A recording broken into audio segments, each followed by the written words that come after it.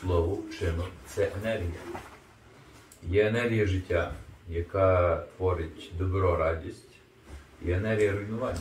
Те, що люди у свій час назвали гріхом. Це реально енергетика, енергія.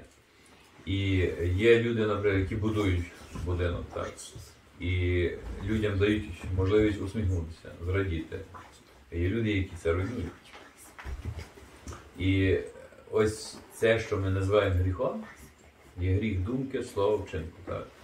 Якщо людина, наприклад, зробила якийсь вчинок, чи добрий, чи недобрий, значить це енергія, вона мусить зробити роботу обов'язково.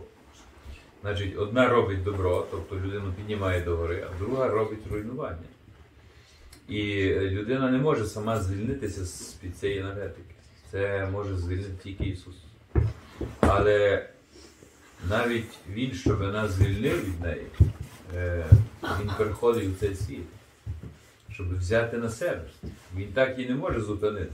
Бог також за певними законами живе, ну, дає, підкоряється законам. Ось прийшов у цей світ, щоб нас рятувати.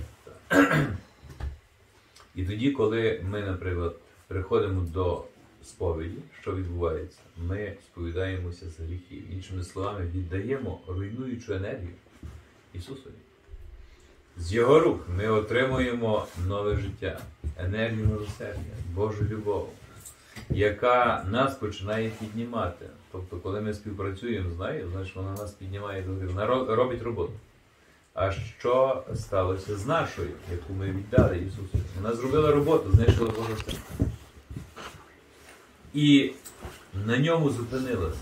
Тобто Ісус зупиняє, вона вмирає, якби. Те, що ми говоримо смертю, смерть переміг. Ось Ісус приймає на себе, вона на нього виладовує всю свою руйнуючу силу, але Ісус не віддає злом зло. Вона гасне, вона втрачає свою міць все і вичерпується. І тоді вступає в дію, в дію нове життя, життя Христа. І починає творити новий світ в себе. І через це нам потрібно дійсно визволятися з цього, звільнятися, очищати наше життя, наш рід, тому що піде зцілення. Бог хоче нам дати життя, щоб ми були переповнені даром життя, Його любов'ю, Його милосердям, Його істиною. І це є наша сила, це, це дар Божий, це велика велика милість. Тому що тоді люди в цьому починають радіти. Вони чують, що їхня душа повна, змісту. Їх цю душу не рве зло, бо зло рве.